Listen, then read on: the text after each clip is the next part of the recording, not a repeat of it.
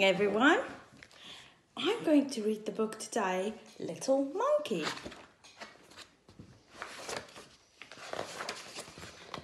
Monkey loved living in the jungle. There were so many things to do and so many things to see. But every now and then, oh, things went a bit wrong. Look, he fell into a bush. Monkey had a little problem, and the problem was being so little. Some days everything was out of reach. Other days it was out of sight. Look, he can't reach up high. And he can't see because everyone was in his way. Things were always too deep, too dangerous, and too difficult for someone so little. You can't climb up there.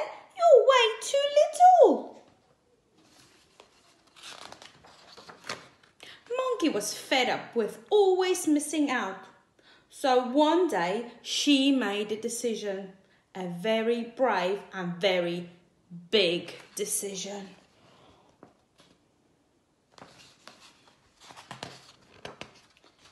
I will climb to the top of the tallest tree. The jungle is not too big for me. You will see.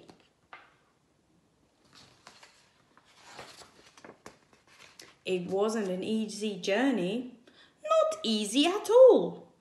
The river was deep and dangerous.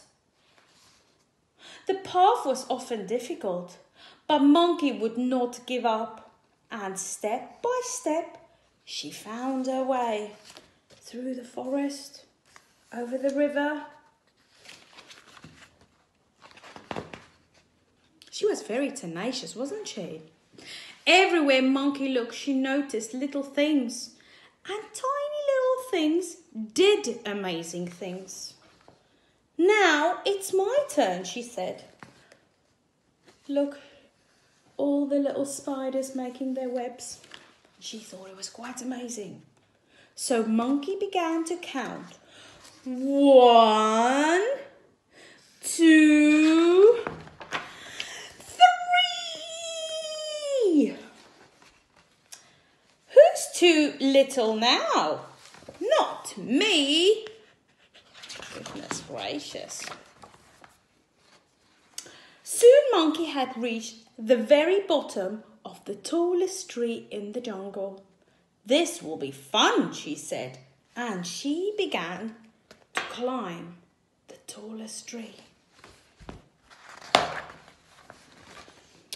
Up she went, climbing higher and higher. And look who's here behind her. Oh, goodness, I hope she's going to stay safe. Right to the very top she climbed. The world below looked so little and so beautiful. Look at her, she's at the top of the tree. She's looking down and she's thinking, oh, it's absolutely beautiful. But look who's here. Oh, goodness gracious, let's see what's going to happen. Finally, Monkey could see everything, including the rest of her troop. They looked very excited to see her. Ooh, look who's behind her. And they are waving at her. I wonder why they're waving at her. Maybe because there's a big old tiger behind her. It must be time to go, thought Monkey. And she swung down from the tallest tree, feeling very pleased and very proud. Look what she's swinging on. She's swinging on the tiger's tail. Oh, very brave. She didn't even realize he was there. Monkey did love living in the jungle. Now, more than ever before, I might be small, but I'm very brave, she said. And very lucky, said the rest of the troop. Monkey knew they were right because the smaller you are, the larger your adventures can be. But best of all, the bigger the hugs can feel.